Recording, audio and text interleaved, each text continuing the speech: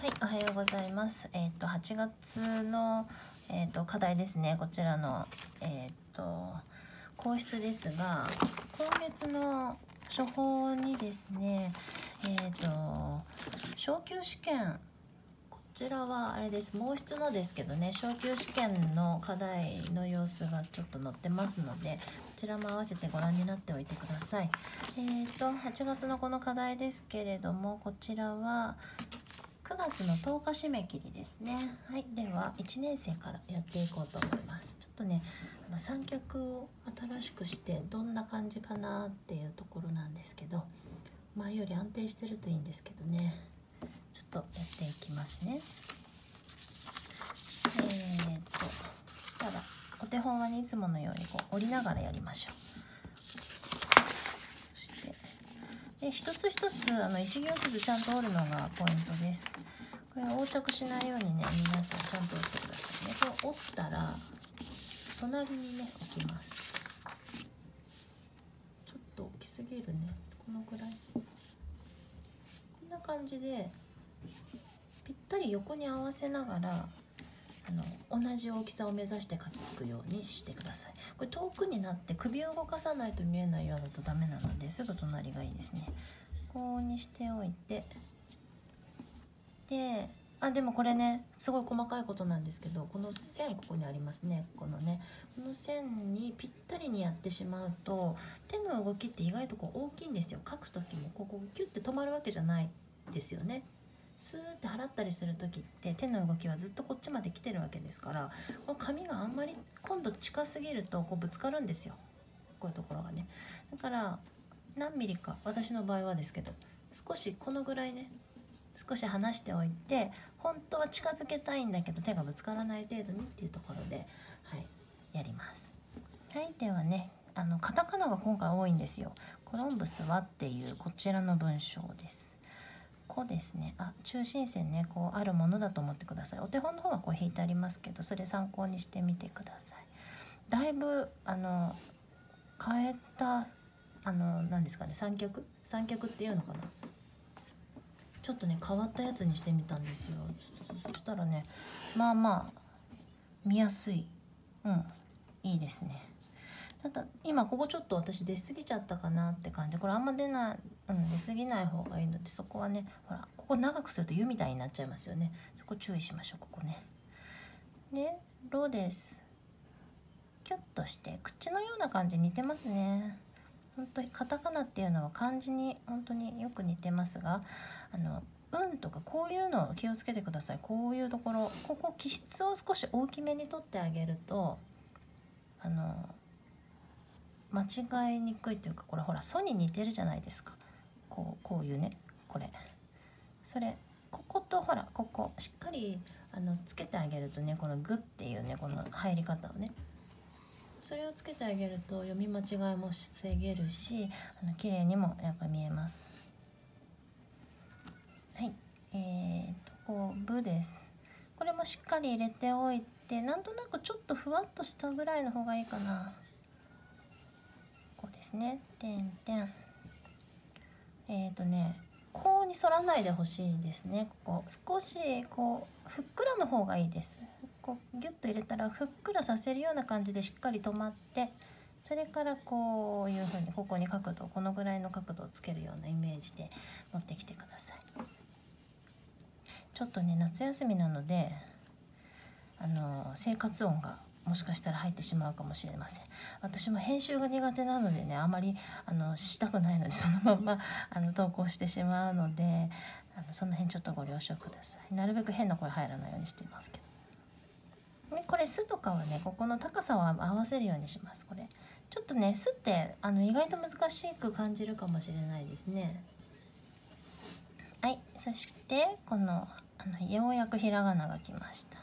ちょっとひらがなって あの小さめに見える方がいいかなカタカナってほらあの人の名前だったり外来語っていうんですか、うん、とかで物の名前とかが多いじゃないですか。でだからなんとなく漢字の次に大きいっていう風に言われてますよね。でひらがなが一番まあ小さく見えるような感じにしたいのでそういうところであのひらがな頑張りすぎなくていいかなってとこです。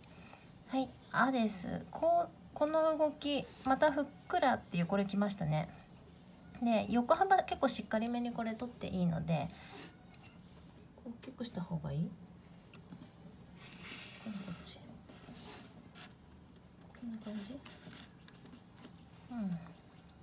でここふわっとしたらギュッとしてここにこ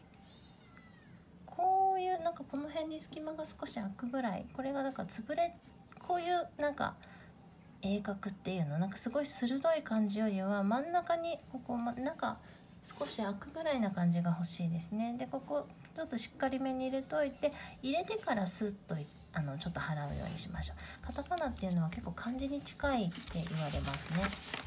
そうあの親戚ぐらいなイメージで持っておいてくださいね。ひらがなは気質全然違いますのであのカタカナは漢字に近い気質の入り方でしっかりめですって覚えちゃってください。グッと入って構いません。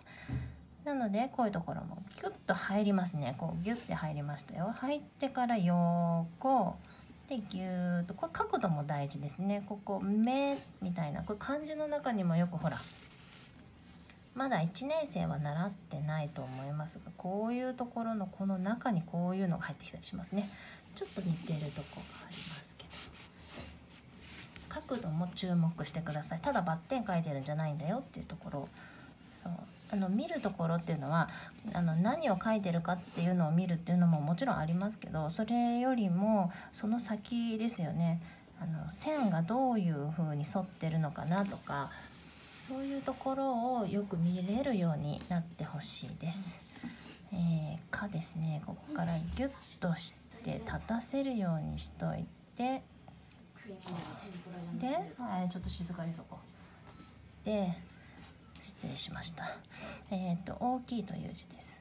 ギュッと入って上頭しっかり出しましょう。こう一人で横へ行きますで高さ合わせるようにここ今ここで高さが合ってますね。だいたいこれ地面だと思ってもらってあの平らな感じを目指すようにして同じ高さまで下ろしてきてから右に払って抜いていくようなそんな感じです。そういう風にあのやっていけば大丈夫ですね。漢字の場合。ひらがなの場合はもう高さ全然違うのはもちろんわかると思うんですほら長いですよねこっちね。そう。だからちょっとそこはあの何て言うんだろう決まりっていうのがあまりないのでもうそれ一つ一つ覚えてもらうっていう感じ。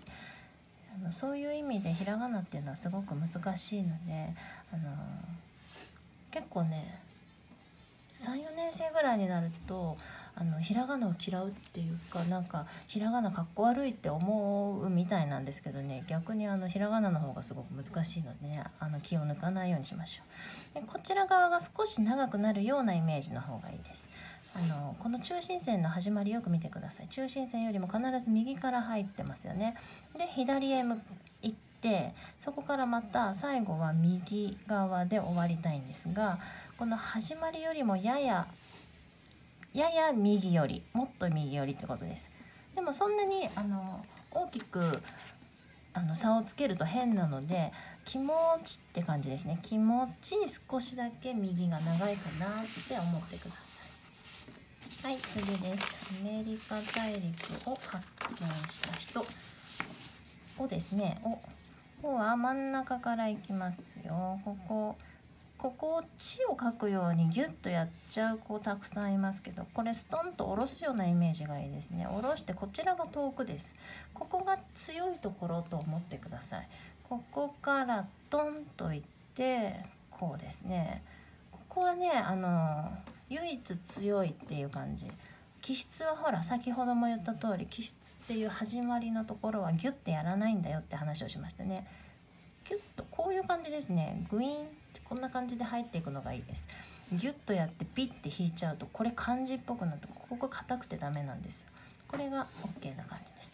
ただここに関してはこれここから本来跳ね上がってこうやってくるようなイメージなのでここが一番強くてもいいかなって感じですね。ここまでやる必要はないような気もしますけどあのまあ、ひらがなはね一般的にはこう全部ちょっと優しめな感じの入り方をするんだよっていうのだけ覚えてください。でその中でもここは少しだけ強いかなっていうぐらいな感じでいいです。でこう歯ですね。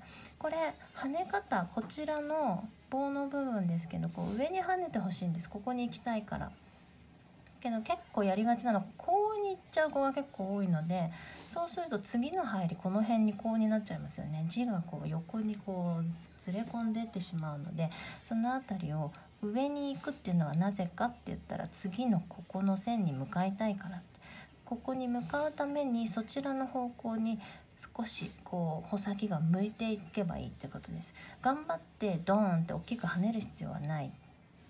羽っていうのは方向をちょっと決めるぐらいなものだっていう意識を持ってくださいね。でここにちょっと隙間が空くと綺麗です。えー、小さい「つ」ですね。小さい「つ」ですけどあんまり小さくなりすぎないでください。やっぱ読みやすくしたいのでちょっとねあのふっくらさが必要です。ここ。ここが潰れてしまうとどうしても寂しい印象になります。ここういうのダメですねこれね。で「見る」という字です。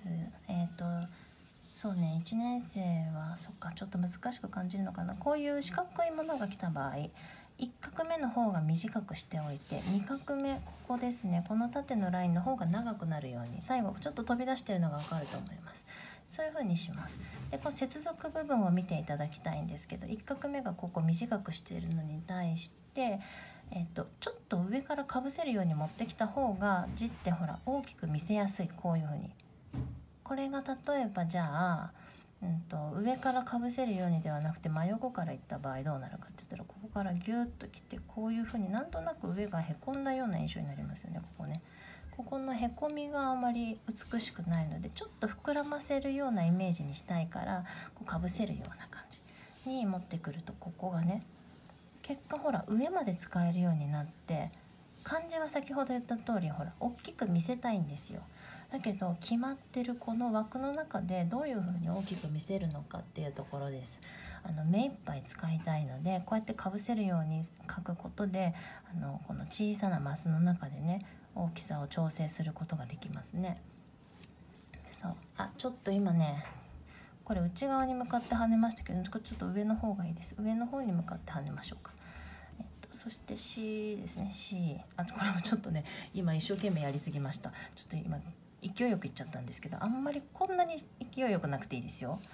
もうちょっと軽く切っていいかな。っていうぐらいです。ちょっと悪い例がたくさん出てますけど、まあ、そういうのも参考にしてくださいね。でこういう風にこうきますね。下人人という字ですよ。ここから初めからこういう風に斜めに向かいます。下に向かうとちょっとかっこ悪くなるのでで接続部分よく見ていただくと少し上の方かなっていう印象ですよね。あの人あの人のほら姿としてもこうなんとなく足が短いよりはちょっと長めの方がやっぱいいじゃないですかね。ここの部分ね。そう。まああんま上でも変なんですけどあの縦と横のだいたい真ん中大体ですよぐらいな感じであのバランス取ってくださいでそさっきのあの大きいっていう字と同じで下の部分ですねここの高さを揃えるようにするとあのいいです。まあ、揃えるっていうかうーんとね厳密に言うと左よりも右が上がらないように隠しちゃった左よりも右が軽くなっちゃいけないっていう感じですね。同じかやや長いか右がね。っていう風にすると綺麗に見えますよ。はいじゃあ小学1年生。うん12年生同じ課題なので今日はじゃあ2年生にしましょうかね。小2あの学年間違いが結構多いんです。何回もね毎回言ってるんですけどえっ、ー、とここ小2っていう書き方とあと2年っていう書き方で間違う子もいればまあ普通に小1と小2を間違っちゃう子もいるしっていうとこでちゃんと自分の学年を書けるようにすることと年っていうのはえ、ー、とねコンクールとか作品展以外では年は使わないので処方で出すものは全て小小1小2っていうこういう書き方なのでそこ間違えないようにしてください。でせっかくうまく書けてるのに間違いのものが出せなくなっちゃうのではいその辺りね12年生特にそこの辺り最後の方気が抜けてしまうので気をつけましょう。はいでは失礼します。